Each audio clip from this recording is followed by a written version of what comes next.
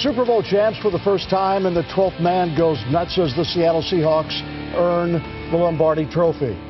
Can you believe it? Oh, that's oh, how, great. That's how we celebrate down here. And let's go now to Abby Gibb in Pioneer Square, where there are so many Hawks fans down there. Abby. I can barely hear you, but it is absolutely incredible down here.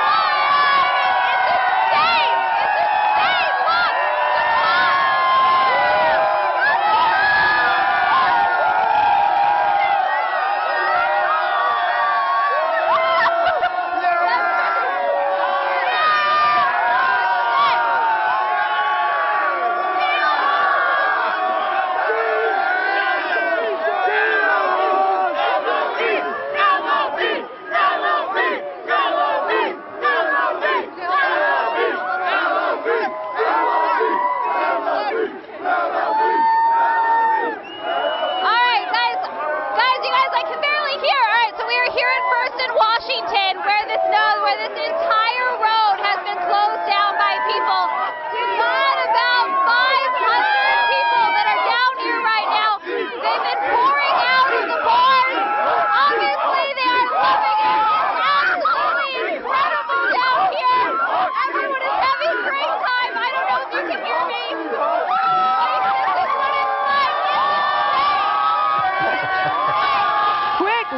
Abby, she's being swallowed by a crowd. Abby I mean, Gibb in Pioneer Square. Uh, we can barely hear Abby, but we can hear the unrestrained joy that this city has been waiting for years. And I, what I said earlier today, I thought that this victory exorcises some of the sports demons in this town all that pent-up frustration. Well, it is finally giving the team the respect that it deserves. And, you know, it's like the people who are announcing were so shocked that the Seahawks would win by such a decisive margin, too. Well, how many of you out there thought that Seattle would win by 43 to 8?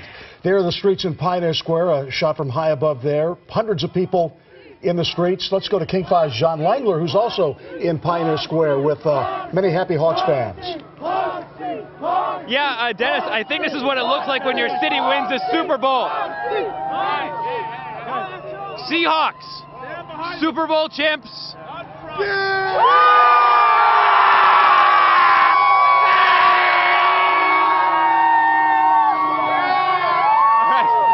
So it's uh, it's pretty much bedlam here right now. Uh, we were inside FX McRory's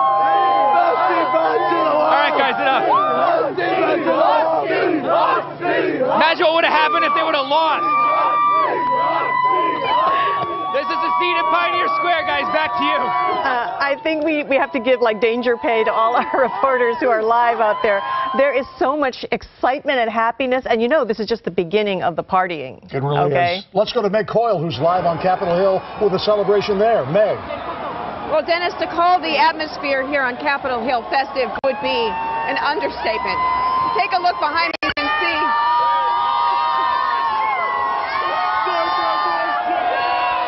Everyone,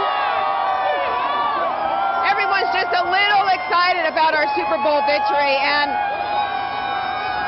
I have to say the police are sort of staying back and letting this celebration happen. Uh, they are on they are making their presence known. We've got flashing lights on every corner here on Pike Street between 10th and 11th and all the way up to 12th as well.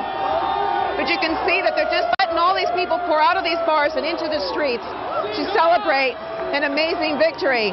What are you doing here tonight? Uh, celebrating the Seahawks win. How's it feel? It feels great. World champions. Where were you watching the game? Seattle University. You're Seattle University? Yeah. Yeah. Why'd you come out here? To celebrate. To celebrate. Okay, thank you. I love you, Mom!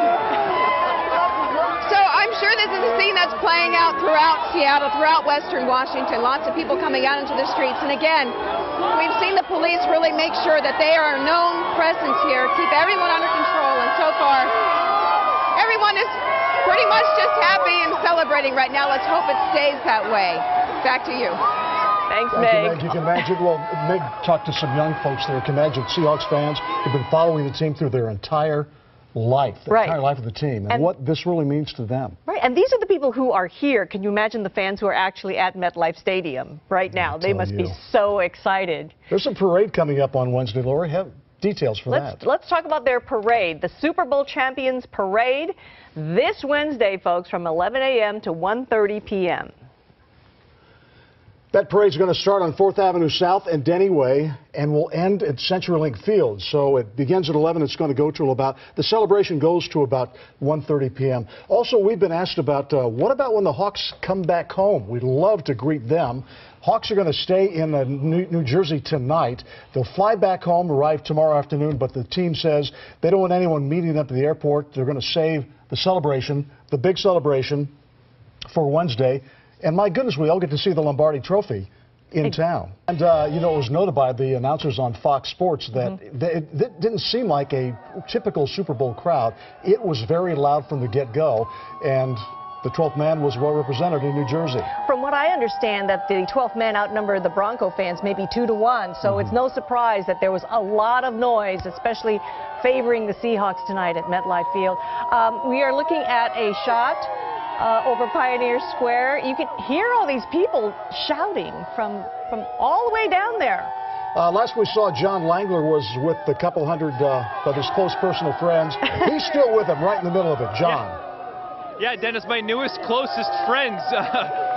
this is pretty insane. Uh, this is what happens when your city wins a Super Bowl. Pioneer Square, the streets all around here are absolutely crazy. In fact, a lot of fans are heading down to CenturyLink Field. They've got a lot more to say than I do. If you think this was crazy, we were inside FX McRory's when the game ended. We had some video from inside as the game was winding down. It was absolutely intense in there, packed, and the excitement, you really can't describe it. This is what happens. And the celebration goes on outside here in Pioneer Square, near Pioneer Square, rather. It's crazy. Again, we were inside FX McRory's as the game was going on, and the shock of the first half for the fans was really palpable. No one really thought it was going to be that much of a, a, a victory through the first half, and the second half was just one long, sustained cheer. It was really something to see, and that cheer has just spilled itself out here onto the streets, and this is it. This is pretty incredible. We'll go back to you guys. Thanks, John. I hope he's got his pads on too, because that crowd is getting a little raucous out there.